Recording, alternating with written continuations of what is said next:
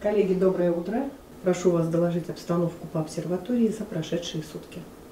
Так совпало, что несколько важных юбилейных дат Тольяттинской гидрометеорологической обсерватории пришлось на самое жаркое лето 2021 года, когда о метеослужбе и ее прогнозах вспоминали чаще всего. 90-летие Приволжского управления гидрометслужбы, 65-летие Тольяттинской обсерватории и, наконец, 50-летие лаборатории мониторинга загрязнения окружающей среды. Это наш лабораторно-производственный корпус, введен в эксплуатацию в 2017 году. Прошу если вспомнить историю, то в связи со строительством Жигулевской ГЭС, а затем заполнением водохранилища, появилась потребность в его изучении. Нужны были гидрологи, химики, биологи. На базе биостанции портпоселка и гидрометбюро Куйбышев гидростроя в 1956 году образовывается Тольяттинская гидрометеорологическая обсерватория.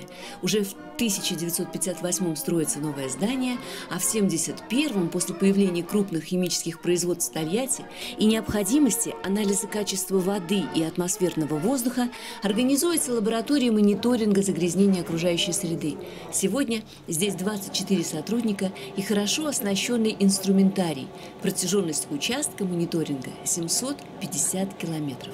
Конкретно в этой лаборатории осуществляется анализ проб воздуха, которые поступают к нам ежедневно с восьми стационарных постов города Тольятти и одного поста города Жигулевск. Это диоксид азота, оксид азота, диоксид серы и оксид углерода. Уже по названиям химических веществ понятно, что несведущих сотрудников здесь быть не может. Касается ли это привычной пыли и анализа ее концентрации в воздухе, либо цветных растворов, таких веселых и безобидных на первый взгляд.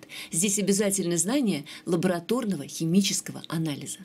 А, мы закончили определение формальдегида в воздухе, и сейчас мы переходим к расчету оптических плотностей. Это лаборатория спектрального анализа, где пробы воды готовят и анализируют на такие показатели, как металлы и анионы в воде. Оборудование очень дорогое, сложное в обслуживании и требующее большой квалификации специалистов. Это сразу проба в прибор и сразу пять показателей. А учиться есть у кого. Например, у ветерана отрасли с 50-летним стажем гидробиолога Светланы Павловны Кузнецовой, которая не перестает удивляться и удивлять. Вот вы посмотрите, можно их снять? Нет. Вот здесь вот у меня планктон наш. А еще Светлана Павловна – дочь первого директора обсерватории Павла Ивановича Никулина. Ее слова – живая история. Сегодня обсерватория имеет два экспедиционных судна, а также маломерный флот.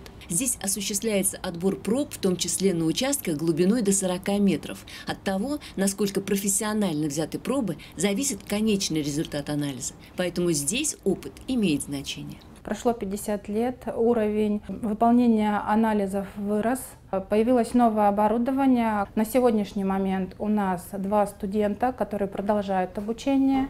Пожелаем этим ребятам успешной учебы, а лаборатории – расширения возможностей и, конечно, поздравляем коллектив с 50-летием плодотворной исследовательской работы.